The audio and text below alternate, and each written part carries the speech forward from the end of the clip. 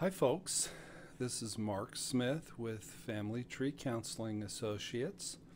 You can see from the background that I'm not in my normal place where I make videos, which is at my home. Um, I'm at my office. Um, by the way, the pretty painting back there with the orange, my daughter painted that. Um, so um, I don't have a real fun topic uh, today, in my opinion. Um, no poetry.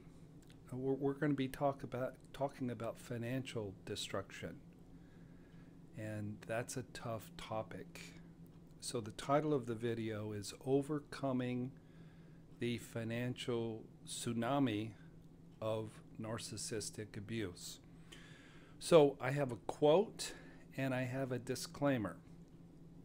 So the disclaimer goes like this I'm going to be sharing my pain about what I went through, and a lot of you um, were financially harmed a lot worse than what I was. A lot of you would say, dude, you ain't seen nothing. I, I don't have a place to live. I don't I don't have uh, food to eat. I, I'm having a hard time putting a roof over the head of my children. Um, I don't have a job. So, in no way am I trying to minimize your pain and your dire circumstances. Uh, if anything, uh, I'm trying to help you. Um, so my my circumstances weren't that bad. They could have been. It came pretty close to being that bad, but I, I just I just want to. It's something I haven't talked about and I just wanted to cover one of the worst ways you can be harmed in narcissistic abuse, and that's being harmed financially. So, um, try not to judge if, if, if I sound like a, a guy who really hasn't been harmed that much because trust me when I tell you that, that I've, I've suffered a lot financially, even if I still have some means left. The quote I want to read is from a blog uh, by a guy named Trent Hamm, and he wrote Any addiction is a danger to long term personal financial stability. If you have a compulsion to commit a non vital behavior, particularly one that requires you to lay out money, it's a massive risk not only to you, but to everyone around you. So, why am I talking about addiction when the topic is narcissistic abuse? Because almost all of us could talk about how we were addicted to a narcissistic person or a borderline uh, person and that addiction caused us to not see red flags. It caused us to stay too long. It caused us to, in my case, um, shell out a lot of money uh, in relationships that that's what they were there for. They were there for being taken care of financially. So I want to go back in time to August of 2007. And uh, I've been involved with various narcissistically abusive relationships for really about 12 years now. And but but in 2007, uh, I was uh, married and had been fairly uh, happily married for 25 years, uh, maybe 20 years at that, 22 years at that point. Um, we had zero debt because my wife was very financially frugal and responsible. Um, we had a beautiful $500,000 house that was like a villa, and it had a beautiful pool and had a hot tub, and my kids loved the pool. Um, so then I became emotionally entangled with a really severe borderline and this was the second entanglement that had happened and my, my soon-to-be ex-wife was about over that she was about through with that but my addiction to my wounded, needy little boy getting attention from the borderline was more important than my financial security. It was more important ultimately at that time, unfortunately, than the happiness and safety of my children. It was more important than the happiness and the safety of my 22 year, really 25 year counting dating uh, partner in life. And I don't have shame about that, but boy, I, I sure do have a lot of regret. So I then was uh, uh, not acting sane. I was acting um, like an addict. And all I wanted was to get more of Kristi's attention. And so I was in such a hurry to get divorced that I cut a really bad deal. I didn't listen to my attorney, I didn't take my time. I wanted to spend time with Kristi, and she said she wouldn't spend time with me unless we were, unless I was divorced. And the truth was, she didn't really want to spend time with me. That she um, was emotionally enthralled with somebody else. Um, so that fits the family profile of needing to be abandoned by somebody who has somebody else. So um, I, I thought uh, at that time in my own um, unhealthiness and arrogance, uh, I thought that I had more resources than I did. I bought a house, and after paying my ex-wife for uh, her percentage of the, the practice, I found myself $122,000 in debt. And, and I woke up one point and just said, wow. Um, I, I remember uh, talking on the phone with a credit card guy, and they had always been really nice before, but then because I was overextended, they forwarded me to the not so nice department. And this guy was just like brutal and mean and harsh. And, and then it dawned on me, you know, really what condition that I was in. And so it took me seven years of hard work and cutting back spending to bail myself out, slowly dig myself out from $122,000 in debt. My former therapist, Rick Gustafson, gave me this little uh, marble or granite uh, uh, trophy thing says congratulations. I think somebody had given it to him related to uh, a milestone in his recovery process. And when I dug myself out of debt, uh, Rick gave me this, and it's always been really special to me. So, um, however, during those those seven years of getting out of debt, I got involved with Betsy. So, so, so I had a woman using me for finances who didn't really love me, and I didn't really know that. And so I had a vampire sucking blood, sucking finances from me, and I still was able to, to dig myself out of debt. So um, I guess what I'm saying is um, it doesn't matter in life how much you make, it, it matters how much you keep. And there's a lot of people who've made a lot less money than me who've been able to keep their resources. And one of the best ways you can do that is not get a divorce. But when you're addicted to borderlines and when you're involved in relationships with users and scammers and skonnivers, it will absolutely positively destroy your finances and I know I'm mainly speaking to women on YouTube. It's you know almost 70% women, and I know many of your situations as you've been involved with a really bad narcissistic man who's had money and power and lawyers, and you got the very short end of the stick financially, and he's got the house and he's got the career and he's making the money and you're living in poverty. I know that I empathize with you. I hear you. Um, so then I experienced the shattering on April 26th of 2015. And so So one tsunami came through in 2007, and it took seven years to clean up, and then along comes another tsunami. And um, so I uh, I ended up having to spend probably around sixty thousand dollars in various treatments and therapies and treatment centers and I couldn't work. And I'm in a business that if, if I don't work, I don't get paid. You know, I'm in private practice.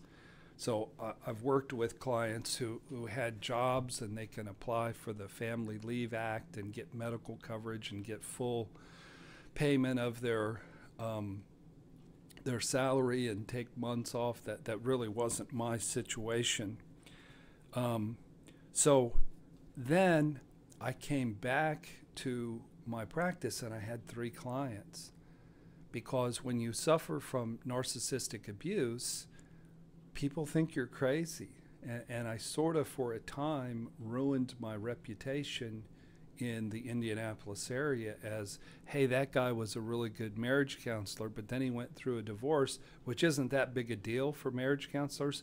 It was the erratic behavior, um, the being shattered into a billion pieces, um, the over focusing on the uh, borderline and her narcissistic partner.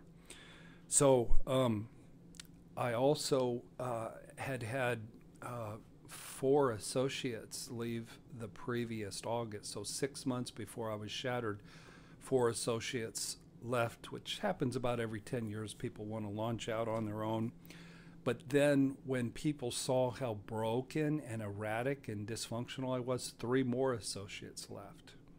So Family Tree was sort of hanging by a thread. And when I was in a treatment center, uh, Andy Holzman, my right hand man, wrote a big check to, to cover things until I got back, and Jerry Wise pitched in some money as well. And my assistant, Jeff, was left to worry and to keep the place organized and functioning and the bills being paid.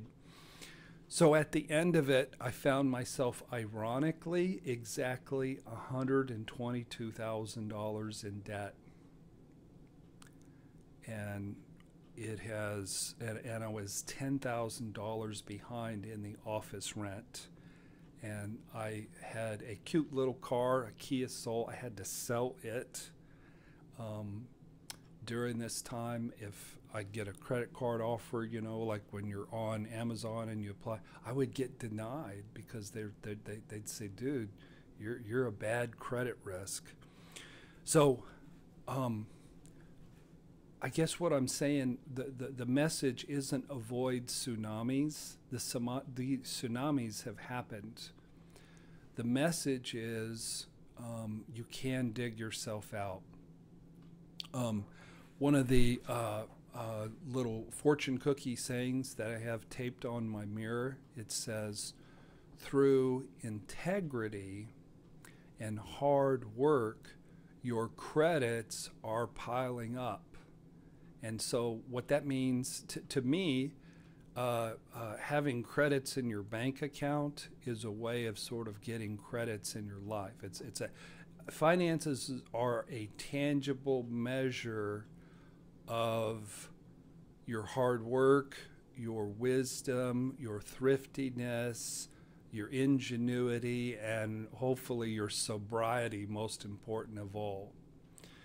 Um, so, uh, since December of last year, when my recovery really kicked in, um, uh, the recovery, the rebuilding from the tsunami is well on its way, and I'm I'm really blessed. We've added two wonderful new therapists, Karen Henry Smith and Peg Nicodemus. You guys have seen those ladies uh, online on our channel.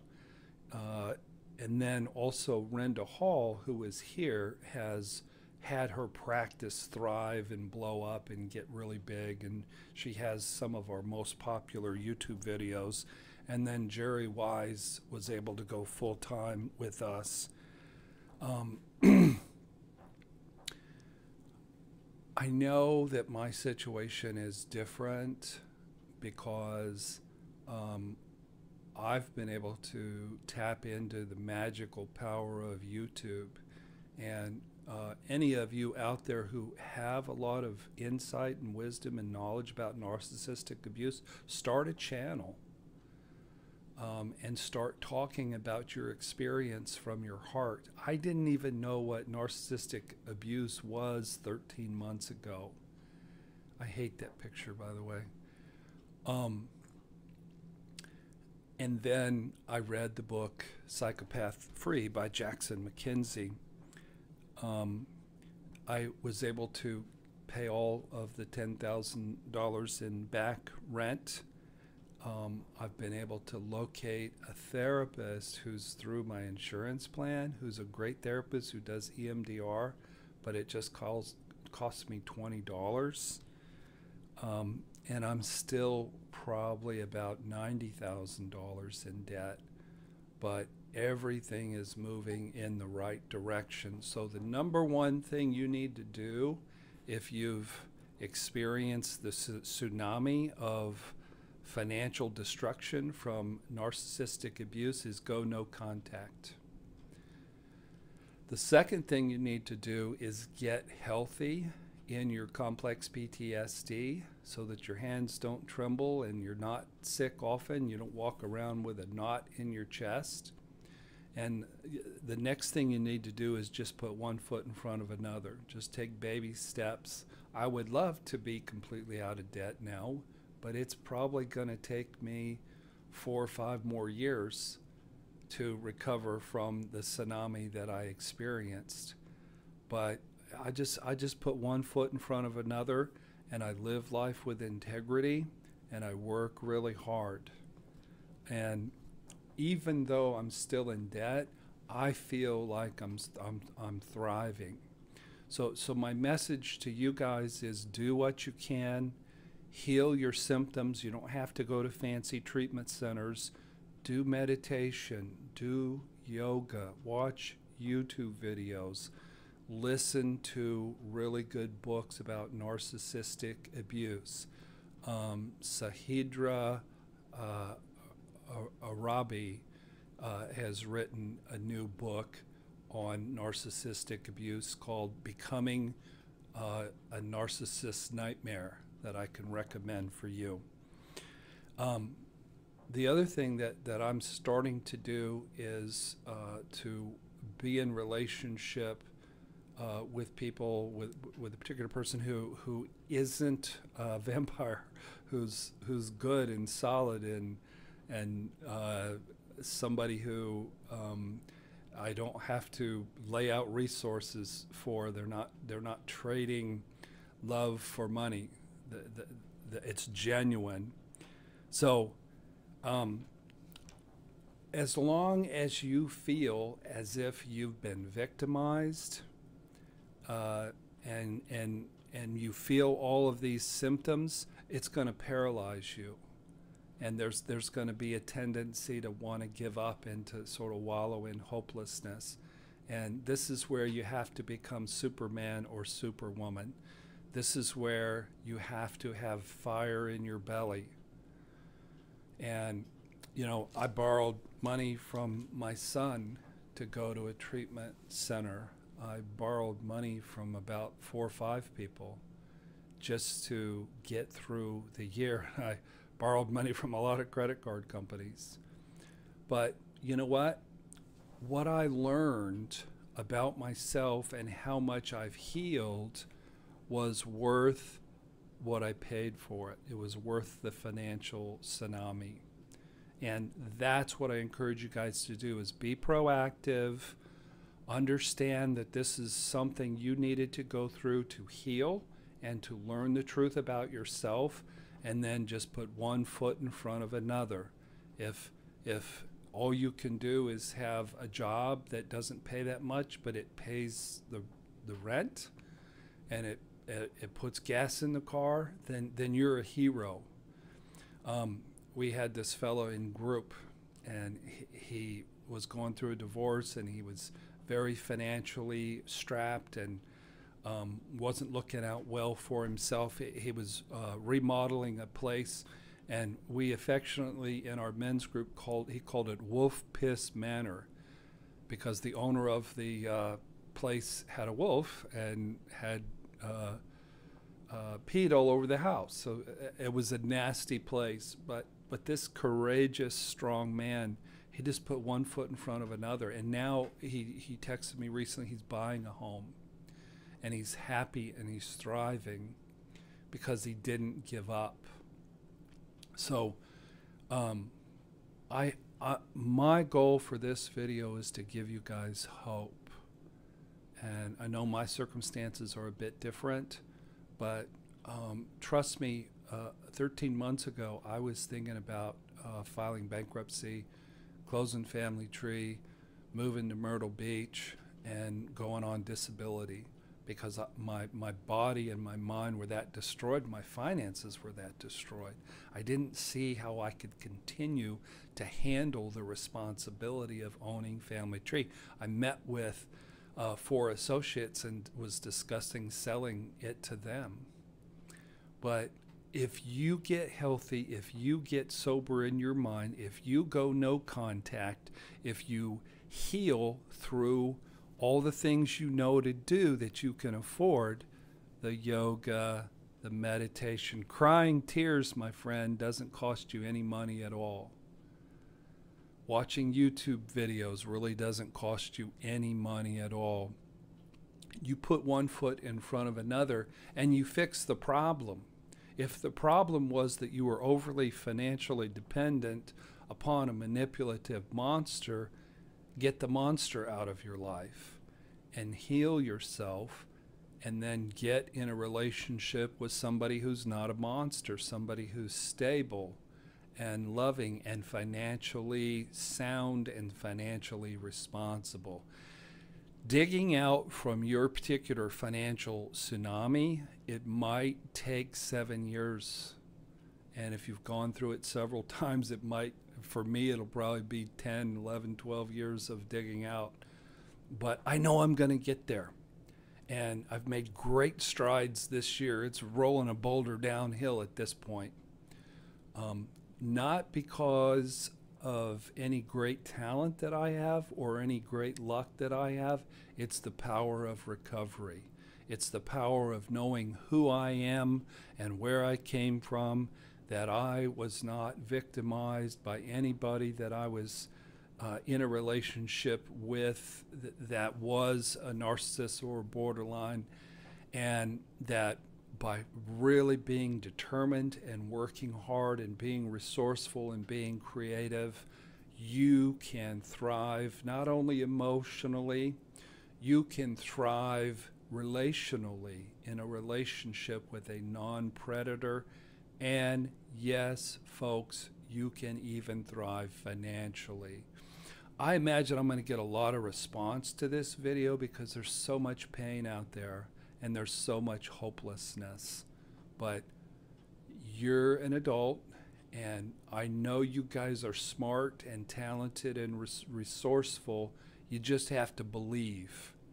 So set your sights on a goal. Through integrity and hard work, your credits can pile up.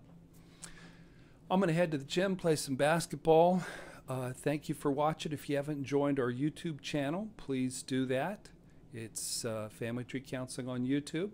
And uh, I have several books.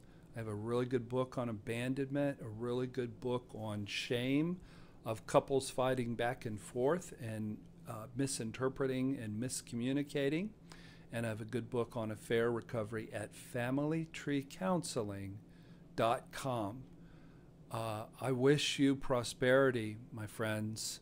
I wish you to thrive financially. I'll keep you in touch with my digging out process, but I know it's going to happen and it can happen for you too. Have a wonderful day and God bless.